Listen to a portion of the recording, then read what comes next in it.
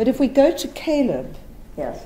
which is an interesting piece, I've called it 2011, but I'm aware of the fact that you started working on many of these pieces earlier, and this earlier, yes. yeah, Yes. and that this is uh, that you've put this together in 2011, but it incorporates earlier Mhm. work.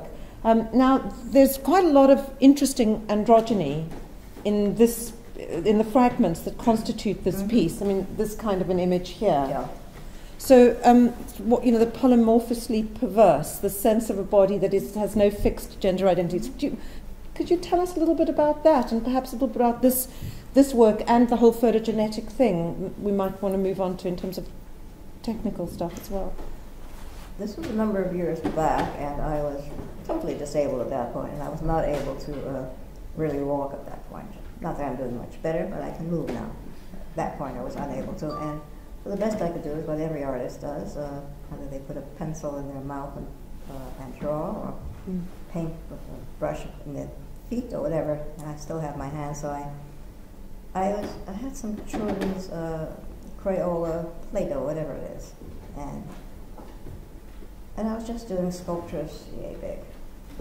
I had no idea. There was nothing. What was I thinking? I was thinking that I cannot sit this way for hour after hour without doing something. And so I made, spent the summer making many, many sculptures. Didn't have a clue what I was going to do with them. At the end of the summer, I took all sculptures and I put them into many shopping bags, brought them back to the studio, and they stayed there for a number of years. I seem to have a trick, that trick of leaving them someplace for many years and then reclaiming them. And I did not know how to use a computer. There was no way I wanted to use a computer. I don't come from that generation. I considered myself a dinosaur, very happy that I was a dinosaur. And I, part that I didn't like about computers was that I was going to get email, and I did not want email. I mean, this is one way of saying, go away, and I don't want email, and I don't want to hear or respond. And then I was uh, matched up with someone. Uh, I I had to. I was donating a print uh, for a benefit, and I was matched up with this printmaker, and he did it by way of a computer. And I just sat next to him. I gave him the drawing that I sort of wanted, and we sat there, and he just kept pushing buttons. Everything I would ask for this or that. Within seconds, I had what I was asking for, where it would take me months to get this on one of my works, to change it, to get to another space, to change to another color. And when I came away from there, you know, and he said to me, he said, you know, I, you're the only artist that's ever sat next to me that way and gave me so many wows. I couldn't stop saying, wow, wow. It was Magic. It was more than magic. Mm. And so I went to the Apple workshop thinking, okay, I'm going to, I'm going to use a computer. Sat there for several weeks in the workshops.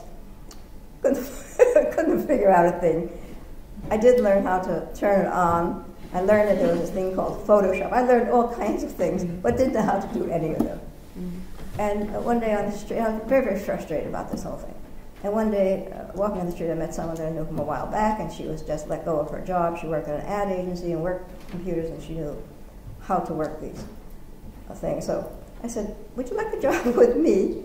I said, I don't know quite what I want to do. I do know I want to learn the computer. I don't know what I want to do with it.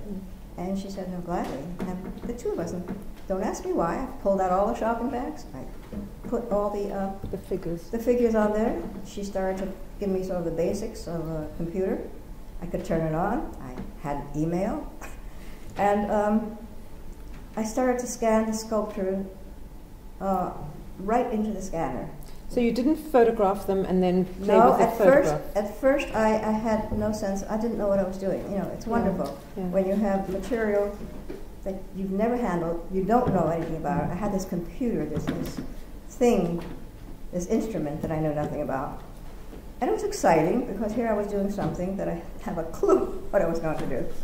And so put the sculptures all out. I started to scan them into the scanner, put a big black trash bag over it so no light would get in. And I got some incredible images on the screen. And then tried to print them out, and none of the colors would print true, and none of the colors, and they were wonderful on the screen when you tried to print them out. I got something, I don't know what I got. It was like mush, different weird colors you get. They were not usable. So I knew that, that was a mistake. So I thought, aha, I've done that before. Photograph the sculptures. So I set up a little staging, a little proscenium, and they, I sat each one on the, on the stage and would sit them anyway. And I wasn't interested in great photographs. I wasn't interested in great posing. I just know that myself or anyone else could sit them down, pose them, light them, photograph them. Mm-hmm. So now I was rid of the object. I just had the photograph. And at that point, with the photograph, I could then start feeding them, scanning them, and then I started to collect uh, uh, wigs so I could use that for hair. And I, I, I'm always collecting images, so I had many images, you know, eyes and ears and different. and for me, you know, I always had that very simple line where it's a cartoon line, and you know, one line should make the eye look one way, uh, another line will make the mouth look angry. And you know, as a child, when you're doing these very simplistic images. And so that's what started to happen. And they took on a whole life of their own, and I mean a life of their own. I found, like for Caleb, I found this hat, you know, everyone, all the kids around were wearing these hats. Actually, they had glasses, but you know, wearing these knitted caps over their eyes, uh, all that bling. Everyone was wearing a huge amount of bling, and it was it was the kind of thing where it um, it was what it, is. It's whatever is around me, and I. And I think you guys were making fun of me last night because I knew about Lady Gaga. and why? And why would I? Uh, so that you know, I, I am sort of. I love YouTube, and I, I mean, the computer now has made me totally, you know, not just a different person, but it's a, Mm. made everything turn around.